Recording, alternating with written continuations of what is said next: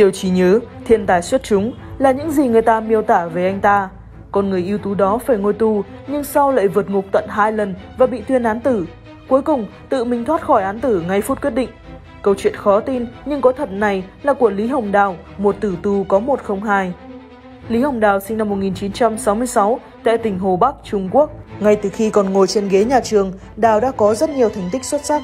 Năm 14 tuổi, cậu giành giải nhì cuộc thi học sinh giỏi toán cấp quốc gia, nhận danh hiệu thanh niên ưu tú.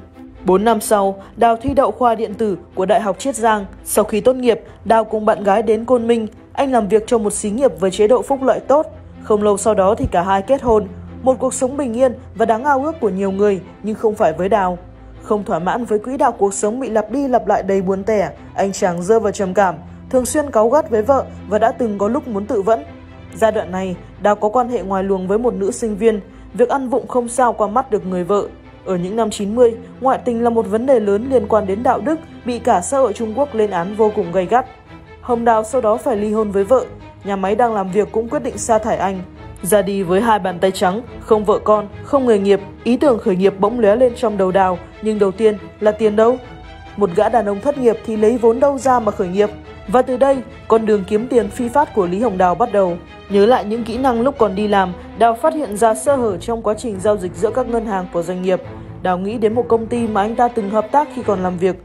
Vốn là một siêu trí nhớ từ những ngày còn đi học, tạo ra một con dấu giả của công ty không phải là điều quá khó khăn với gã. Nhờ vậy mà Đào lừa ngân hàng chuyển khoản 80.000 nhân dân tệ, một số tiền rất lớn vào những năm 90. Thấy kiếm tiền dễ quá, Đào gạt ước mơ khởi nghiệp lại một bên để chuyên tâm vào con đường lừa đảo. Tuy nhiên, lần này anh ta bị giám đốc ngân hàng phát hiện ra điểm đáng ngờ trong hợp đồng, tra ra là kẻ giả mạo nên báo cảnh sát. Khi được đưa về đồn, Lý Hồng Đào bị cong và ngồi một góc chờ thẩm vấn. Gã cúi đầu, vẻ mặt ủ rũ không khác gì những tội phạm khác. Có vẻ như anh ta hối hận với việc mình làm chăng? Không, hành động thì trông như vậy, nhưng ánh mắt của gã vẫn nhìn chằm chằm vào một thứ gì đó là còng tay. Lý Hồng Đào đang cẩn thận nghiên cứu chiếc còng sắt trên tay mình. Sau khi tổng hợp một số phương pháp mở còng, đợi khi các cảnh sát đi ăn, anh ta lén dùng một sợi dây thép mở khóa và nhanh chóng ra khỏi đồn. Không cao chạy xa bay ngay, Đào quay về nhà để lấy bộ dụng cụ sửa chữa điện tử sáng chế rồi lên tàu hỏa rời Côn Minh đến Quý Dương. Dù đang chạy trốn, nhưng hành tung của Đào lại không có vẻ gì là kín đáo hay sợ sệt. Gã này lại tiếp tục gây án khi đến Quý Dương. Một chiếc xe Audi đậu bên đường, cả thành phố có không đến 5 chiếc. Giống như lần đầu tiên nhìn thấy chiếc còng tay, Lý Hồng Đào đã bị chiếc xe mê hoặc không dùng đá, gậy hay bất cứ động tác vật lý nào để cướp xe như những bọn tội phạm khác. Lý Hồng Đào lặng lẽ đứng chờ chủ xe suốt 5 tiếng đồng hồ. Sau đó, anh ta chủ động tới gần bắt chuyện, tỏ ra hiểu biết các chức năng của xe, thậm chí mượn được chiếc chìa khóa để ngắm nghía. Chỉ trong vòng nửa phút ngắn ngủi, Đào nhớ như in kích thước và bánh răng của chìa khóa. Tối hôm ấy, dựa vào trí nhớ, anh ta làm lại một chiếc chìa khóa y hệt rồi đến địa chỉ đã dò la trước đó trộm chiếc xe Audi đang đậu bên ngoài, không một chút khó khăn. Nhưng lái vài ngày đâm ra chán, anh ta bỏ xe lại sau khi đã đến thành phố Nam Ninh, Quảng Tây. Suốt một tháng sau đó, không còn hứng thú với những con xe xa xỉ, sự chú ý của Đào va vào xe cảnh sát. Gã chơi ngông đến nỗi trộm xe cảnh sát và lái về Côn Minh, nơi mà vừa thoát ra chưa được bao lâu. Điều gì dẫn đến sự liều mạng này? Chính là cô nữ sinh viên khi đã được nhắc đến ở đầu clip gã đàn ông si tình bất chấp sự truy nã về Côn Minh để gặp lại cô bạn gái. Khi hẹn gặp tình nhân ở khuôn viên trường, ngày 19 tháng 6 năm 1992, Đào bị cảnh sát vây bắt. Khi bị bắt, Lý Hồng Đào không hề đôi co chối tội mà chủ động khai báo lộ trình của mình trong suốt thời gian trốn chạy. Do quá trình địa bàn liên quan quá rộng nên cảnh sát phải mất nhiều thời gian để xác minh. Trong thời gian này, Đào lại tiếp tục buồn chán, gã thách thức cảnh sát rằng nếu trong vòng 3 tháng mà chưa hoàn thiện xong hồ sơ là anh ta sẽ bỏ trốn tiếp. Viên cảnh sát nghe thấy thế thì cười khẩy cho rằng Lý Hồng Đào quá ngông cuồng. Nói là làm, Đào bắt đầu nghiên cứu kết cấu của trại tạm giam, chuẩn bị cho cuộc vượt ngục lần thứ hai. Nhưng lần này xem chừng không hề đơn giản như lần trước. Đào bị cảnh sát đặc biệt chú ý, mọi hành tung đều có sự giám sát. Vì vậy gã lôi kéo thêm hai bạn tù để giúp mình đào xuyên bức tường mỏng của phòng giam. Và việc đào bới này chỉ mất 4 ngày. Đồng thời trong thời gian đó, Đào cũng cố ý tiếp cận cán bộ quản giáo, tìm cơ hội quan sát chìa khóa trại giam rồi khắc lại trên thanh tre.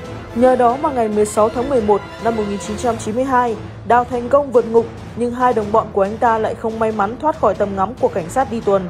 Sau khi đào tàu, Đào trốn đến thành phố Liễu Châu, tỉnh Quảng Tây. Cũng như lần đầu, việc đầu tiên của Đào là trộm một chiếc xe ô tô yêu thích bằng chìa khóa giả, nhưng sau đó phát hiện nó bị hỏng. Anh ta giả vờ làm chủ xe, nhờ sự giúp đỡ của những người đi đường để mang xe ra tiệm sửa chữa.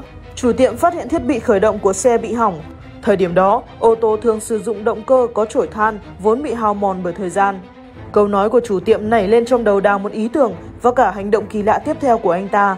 Vẫn tốt nghiệp chuyên ngành điện tử, Lý Hồng Đào nảy ý tưởng tạo ra một động cơ không chổi than, khắc phục nhược điểm của động cơ có chổi than hiện tại bởi chúng có quá nhiều hạn chế ma sát lớn, tổn hao nhiều nguyên liệu, sinh nhiệt lớn mà tuổi thọ lại ngắn. Để thực hiện hóa lý tưởng, Lý Hồng Đào cho rằng nhà tù chính là địa điểm nghiên cứu lý tưởng nhất. Tại đây, Đào sẽ không lo bị cảnh sát vây bắt, được phục vụ ăn uống, không bị làm phiền hoặc ảnh hưởng tới bất kỳ ai. Vậy nên bỏ qua niềm hứng thú với con xe vừa trộm được, cố tình lộ dấu vết để cảnh sát tìm ra và bị bắt lại lần thứ ba vào ngày 8 tháng 12. Vào nhà giam, Đào bày tỏ nguyện vọng của mình và mong muốn được họ tạo điều kiện cho người nghiên cứu. Trước đây, động cơ không chổi than được độc quyền về công nghệ Nhật Bản. Các công ty Trung Quốc bị hạn chế về bản quyền sáng chế. Nếu có thể tự phát minh ra động cơ không chổi than thì sẽ mang lại nhiều lợi ích. Ban đầu, cảnh sát không đồng ý vì Đào đã phạm tội lại còn hai lần vượt ngục làm sao có thể tin tưởng anh ta làm nghiên cứu, thí nghiệm gì? Tuy nhiên, trong quá trình điều tra, người ta thấy rằng Lý Hồng Đào không phải là một phạm nhân bình thường, hơn nữa lại còn tốt nghiệp xuất sắc tại Đại học Chiết Giang. Vậy nên, lãnh đạo cảnh sát Côn Minh phá lệ chấp thuận yêu cầu của Đào, cung cấp cho anh một nơi thí nghiệm đơn giản. Nếu thực sự làm được điều gì đó có ích cho xã hội và đất nước thì có thể giảm án cho. Nhưng khi chưa phát minh ra động cơ mới, Đào bị đưa ra xét xử và bị phán tử hình cho các tội danh lừa đảo, trộm cắp, bỏ trốn. Thế nhưng, cái chết treo trước mắt không làm giảm đi hăng say nghiên cứu của Đào. Anh ta không ngừng tìm hiểu, đồng thời còn ghi chép lại cẩn thận các tài liệu và mong muốn trao cho người kế tục nếu anh ta phải thi hành án trước khi hoàn thành mọi thứ.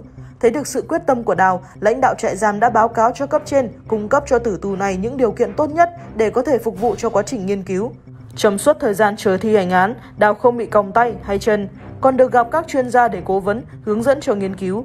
Ngày 31 tháng 12 năm 1993, ngay trước ngày hành quyết, cuộc thử nghiệm của Đào thành công. Điều này làm cho lãnh đạo trại giam vô cùng mừng rỡ. Ông ta nghĩ rằng để một nhân tài thế này phải chết thì e là quá uổng phí. Vì vậy, người này đã làm đơn yêu cầu hoãn thi hành án với Lý Hồng Đào. Các cấp có thẩm quyền cao hơn liên tục nhận được các văn bản kiến nghị hòa tốc. Cuối cùng, tòa chấp nhận sau khi nghị án. Vậy là tử tù Lý Hồng Đào đã chế tạo thành công động cơ kích từ không trổi than đầu tiên ở Trung Quốc. Dù chưa phải là phát minh hoàn thiện và thay thế hoàn toàn động cơ ở Nhật Bản, nhưng đã giúp đẩy trình độ của Trung Quốc trong lĩnh vực này lên một bước tiến mới. Phần mềm của Đào được giải vàng của triển lãm phát minh sáng chế Trung Quốc lần thứ 5 và hạng nhất cuộc thi phát minh sáng chế xuất sắc của tỉnh Hồ Nam. Với đóng góp này, tòa sửa đổi án tử hình của Lý Hồng Đào thành tử hình treo vào ngày 16 tháng 3 năm 1995. Ngày 25 tháng 12 năm 1997, Đào được sửa án thành 17 năm tù. Vào ngày 25 tháng 7 năm 2000, Đào nhận được 3 bằng phát minh sáng chế và 3 bằng sáng chế cho các mô hình tiện ích trong lúc đó còn đang thi hành án nên được giảm thêm 2 năm tù. Ngày 1 tháng 7 năm 1992, bản án của Đào được giảm thêm một năm rưỡi. Năm 2009, Đào được trả tự do. Ngoài động cơ không trổi than, Lý Hồng Đào còn đóng góp nhiều phát minh quan trọng. Ấn tượng nhất là hệ thống thẻ thông minh đầu tiên ở Trung Quốc. Ngoài ra, dựa vào kinh nghiệm hai lần vượt ngục, Lý Hồng Đào cũng đã hỗ trợ thiết kế một hệ thống giám sát công nghệ điện tử, nâng cao chỉ số an ninh của các trại giam. Lý Hồng Đào ở ẩn và trở nên im hơi lặng tiếng hơn kể từ lúc được trả tự do. Nghe bảo rằng, một công ty nghiên cứu khoa học với mức lương hậu hĩnh đã thuê Đào ngay sau đó để chịu trách nhiệm nghiên cứu và phát triển cho công ty.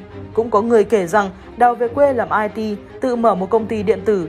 Người ta sinh nghề tử nghiệp, còn Lý Hồng Đào từ cõi chết trở về cũng nhờ vào cái nghề đã được học. Liệu người yêu thích mạo hiểm và khám phá như Đào đã thực sự mãn nguyện với cuộc đời sau đó? Bạn nghĩ sao về tên tử tù hụt Lý Hồng Đào này? Lý do cho những hành động khó lường của anh ta là gì? Hãy chia sẻ số phần bình luận để mọi người cùng biết nhé!